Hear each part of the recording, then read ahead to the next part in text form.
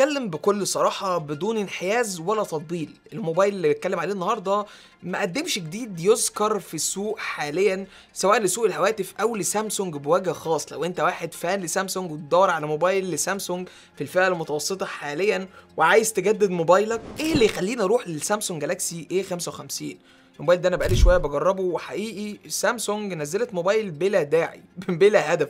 يا جماعة كنتوا خدوا ال A54 وغيروا العلب بتاعته محدش كان هياخد باله. أي نعم آه في حاجات كتير حلوة ولكن لو بصيت من جانب التجربة وعدم الانحياز وبدون تطبيل وبدون أي حاجة من الحاجات دي انت هتلاقي موبايل ما غيرش اي حاجة هو موبايل بس غيرنا اللبس بتاعه وشيكناه شوية ونزلناه بسعر أغلى 6000 ل 7000 جنيه وبالمناسبة في موبايل يفرمه وبيقدم أداء flagship أقوى منه ومن سامسونج برضو في نفس السعر بتاعه. فالفيديو بتاع النهارده هو مراجعة كاملة وعصر وطحن وتفعيص في السامسونج جالاكسي اي 55 ولو انت واحد بتحب سامسونج وبتدافع عنها بلا هدف فالفيديو ده مش ليك. لو انت واحد عايز تسمع التجربه الحقيقية للموبايل فالفيديو ده هو الفيديو المناسب جدا. لو أنت بتفكر تشتري الموبايل ده أو لو معاك ال 54 وبتفكر ترفع للسامسونج جالاكسي اي 55 أو تعمل ترقية من موبايلك ليه فلازم تتفرج على الفيديو ده من الأول للآخر. وقبل الفيديو بتاعنا انزل تحت الفيديو اعمل like و subscribe وفعل زر الجرس ويلا بينا نبدأ المراجعة الكامله في الحقيقة شفت فيديوهات كتير جدا للموبايل تضايق. يعني يا جماعة أنتوا ليه طالعين بالموبايل السما كده؟ الموبايل ما فيهوش جديد نهائيا.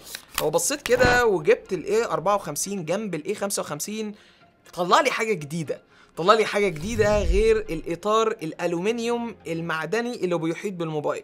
وشكرا ده الفرق الوحيد اللي ممكن تلاحظه ما بين الموبايلين. عندك نفس الظهر الزجاجي عندك نفس الشاشة ال Super AMOLED ال 120 هرتز اللي بتوصل لسطوع 1000 nits واللي بتيجي مقاس 6.6 إنش وبتيجي بنفس كثافة البكسلات. يعني ما عملناش upgrade زي باقي الشركات لدقة 1.5 K لا لسه Full HD Plus ودي حاجة غريبة من سامسونج في 2024 ده مش معناه إن هو وحش ولكن ما فيش تطوير. لحد دلوقتي اللي بقوله لك ده نفس مواصفات السامسونج جالاكسي A54 الأخ الأقدم واللي أرخص حوالي من 7000 جنيه ل 8000 جنيه في الوقت الحالي. وعشان ما نكونش بنظلم ال A55 ففي ترقية صغيرة إن شاشة الموبايل بقت محمية ب Corning Gorilla Glass Victus آه Plus بدل ال Corning Gorilla Glass 5 ولكن في الأول وفي الآخر أنت هتشتري screen protector للموبايل بيجي زلبوط من العلبة لا معاه شاحن ولا محطوط عليه screen protector ولا معاه جراب. فمع المعدن والإزاز والكلام ده كله والدلع والهشتكة دي كلها أنت محتاج تجيب الحاجات دي وأنت بتشتري الموبايل واللي هيزود على سعر الموبايل. لو جبت الشاحن ال 25 واط في range من 1500 ل 2000 جنيه. لا لا لا, لا يا عم هواري أنت بتبالغ في تجربة الموبايل. لا والله بجد الموبايل فعليا مستفز.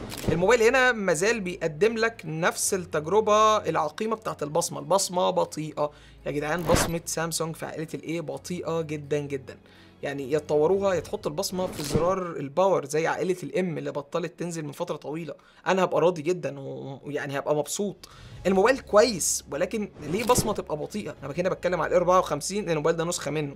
يعني ما زلنا 54 و 55 كويسين. ليه البصمة بطيئة؟ دي حاجة أنا مش فاهمها. طب يا عم هواري كلمني عن الأداء. الأداء هنا عادي نفس أداء ال 54 أي نعم هنا أنت خدت معالج الاكزينوس ال 1480 اللي هو أعلى من 1380 ولكن على أرض الواقع فرق الأداء لا يتخطى ال 5 ل 7% دور على الموضوع وجرب الموبايلين جنب بعض مش هتحس بأي فرق نهائيا. الموبايل هنا برضو بيجي بواجهة الوان يو اي 6.1 على الأندرويد 14 واللي هو بالمناسبه تحديث وصل لل A54 اللي ما زال بيقدم تجربة ممتازة مع ال 1380 ال Exynos وأنا عايزك تكمل الفيديو للآخر يا صاحبي عشان أجيب لك صفقة أزيد 500 جنيه هتدي لك فرق أداء من فئة متوسطة ل flagship من سامسونج برضه بس كمل الفيديو للآخر. ما زلت تقدر تركب كارت memory عندك مايكين المايك الاساسي والمايك الثاني active noise cancelling ما زال عندك تجربة سماعات ستيريو ما زال عندك كل الكماليات اللي سامسونج قدمتها لك في الأجيال اللي فاتت موتور vibration كويس linear كل الحاجات دي ما زالت هي هي نفس اللي كانت موجودة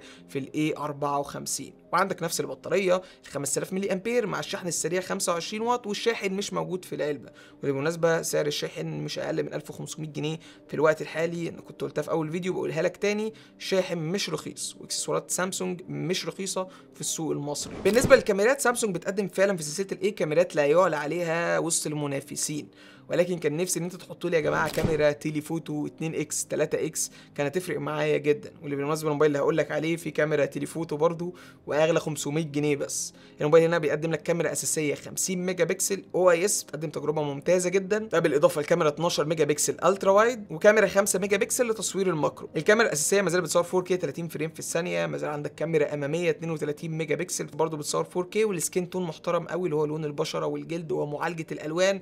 ولكن كل الكلام ده قتل بحثا في ال A 54 اللي هو قدم تجربة متطورة وأفضل من الأجيال اللي قبله في التصوير وخصوصا في تجربة تصوير الفيديو. فحتى الآن الموبايل ما بيقدم لناش أي جديد يا سامسونج في الفئة المتوسطة أو حتى في عائلة ال A من سامسونج. لحد دلوقتي أنا مش شايف أي سبب يخلي أي حد إن هو يشتري الموبايل ده إلا لو أنت مراجع تقني عايز تجيب الموبايل تجربه وتشارك تجربته مع الناس. لحد دلوقتي أنا مش شايف أي سبب يخلي أي مستخدم طبيعي يجيب الموبايل ويشتريه ويخسر فيه كتير يعني يدفع فيه كتير. الموبايل سعره دلوقتي في السوق المصري 23500 جنيه وهسيب لك link شراء من ال description تحت الفيديو. ده لو أنت عايز تشتري موبايل ولكن إيه اللي يخليك تدفع فلوس في الموبايل ده وأنت عندك السامسونج جالاكسي S 23 FE نسخة ال Fan Edition؟ flagship حرفيا في حاجات كتير جدا من المواصفات بتاعته. فأنت هتاخد هنا مقاومة أعلى للميه الغبار IP 68 هتاخد معالج ال Exynos ال 2200 اللي بيقدم تجربة أفضل كتير جدا جدا في كتير من النواحي بتاعة الموبايل. هتاخد تجربة كاميرات أحسن وهتاخد كاميرا telephoto هتطلع لك صور بورتريه جبارة جدا ودي من الحاجات اللي بتميز الايفون مثلا. في شركات كتير ابتدت تتجه للموضوع دلوقتي. زي ريلمي في الريلمي 12 Pro Plus واللي بالمناسبة في مقارنة خرافية ما بين ال A 55 والريلمي 12 Pro Plus بجهز لها دلوقتي هتنزل على القناة خلال أيام ما تنسوش تعملوا like من تحت الفيديو subscribe وتفعلوا زر الجرس عشان يوصلكوا إشعار بالفيديو ده. ولكن حتى هذا الحين لو أنت متحمس تشتري صفقة خرافية وموبايل تستثمر فيه شوية حلوين قدام ال S 23 FE موبايل ما فيهوش غلطة موبايل تحفة. وسعره دلوقتي بتتكلم في السوق في range 24000 جنيه. وهسيب لكم برده link الشراء في ال description تحت الفيديو. شراء مباشر بأفضل سعر حاليا موجود في السوق المصري. فإيه اللي يخليني يا سامسونج أسيب ال S 23 FE مثلا؟ أو إيه اللي يخلي واحد معاه A 54 يرقي لل A أو حتى حد معاه A 53 يرقي لل A 55 وليه حد ممكن يدفع الرقم ده في الموبايل ده؟ عن تسعير غريب قوي الصراحة. وده range الأسعار موجود في السوق ولكن لما يكون في ترقية منطقية. ولكن حتى الآن ال S 23 FE صفقة أفضل بكتير قوي ولسه لحد دلوقتي لو أنت معاك ال A 54 ما تعملش أي نوع من ال upgrade ولا تضيع فلوسك ولا تخسر في الموبايل. واللي بالمناسبة ال 54 دلوقتي سعره بيتراوح من 14000 جنيه ل 16000 جنيه على حسب النسخة اللي أنت تشتريها فده صفقة لا يعلى عليها. دي كانت كل حاجة في الفيديو بتاع النهارده. لو الفيديو عجبك تعمل like و subscribe وفعلوا زر الجرس. أنا عارف الفيديو هيزعل ناس كتير مني وممكن يزعل سامسونج نفسها ولكن دي الحقيقة. ال A 55 موبايل بلا هدف. أنا مش عارف هو نازل يعمل إيه أصلا في السوق. دي كانت كل حاجة. كان معاكم عبد الرحمن هواري. أشوفكم في فيديو عظيم جاي. مع السلامة.